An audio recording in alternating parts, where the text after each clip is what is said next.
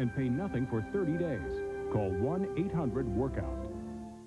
Local ski resorts are happy as can be tonight because Northeast Ohio's blanket of snow is making business a whole lot better for all of Greater Cleveland. The Happy Snow Show tonight on the 10 o'clock news.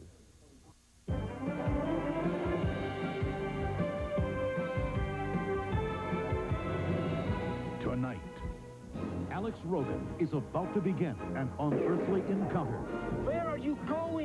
Taking me? I just love surprises, don't you? Reluctantly recruited by an alien army, There's been a big mistake. he's their only chance to save the universe. You're a born starfighter. Take off on the adventure of a lifetime. Here we go. The Last Starfighter. Next on Channel 43, your premier movie station. Tonight's 8 o'clock movie is brought to you by Taco Bell.